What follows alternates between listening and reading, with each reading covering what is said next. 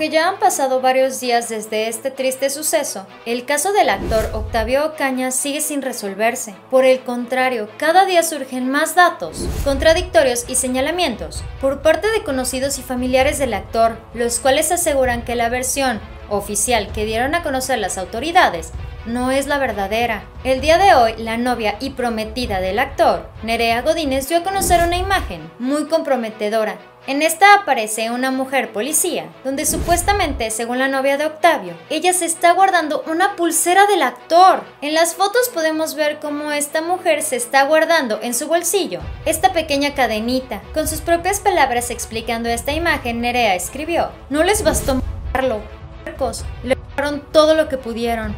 Esa cadena era nuestra, ojalá se pudran en la cárcel. A esta reivindicación de justicia, para el joven actor de 22 años de edad, Octavio Ocaña, también se suma su hermana Berta. Ella utilizó esta misma imagen de la policía para demostrar una de las tantas inconsistencias que se llevaron en el momento de los hechos. En su cuenta de Instagram, Berta escribió, Esta puta de hambre asesina, se guardó una escapa que siempre traía puesta mi hermano. Vamos a llegar hasta las últimas consecuencias. Aunque la familia ya le dio el último adiós a Octavio en su tierra natal, Villahermosa, Tabasco, a través de medios de comunicación los integrantes de esta familia han dado a conocer que no descansarán hasta que se haga justicia para el conocido Benito Rivers. En días pasados las autoridades dieron a conocer su versión, la cual afirma que el cartucho que le quitó la vida al actor fue accionado por él mismo Además de esto, cuando le realizaron el examen al cuerpo del actor, supuestamente le habían encontrado sustancias no legales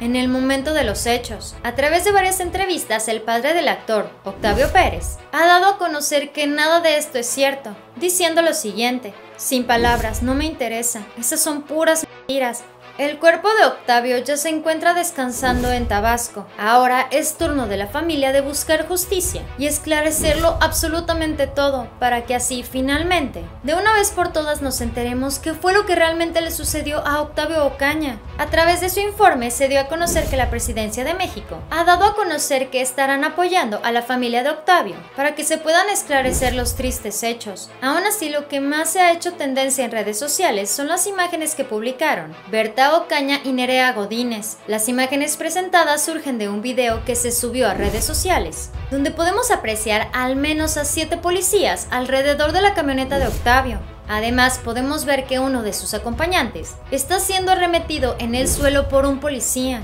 Hasta este momento aún no se sabe por qué sucedió esto. Este fue el Muro de la Fama. Dale like a este video, suscríbete y síguenos en Facebook. Espero que tengas un excelente día. Nos vemos muy pronto. Bye.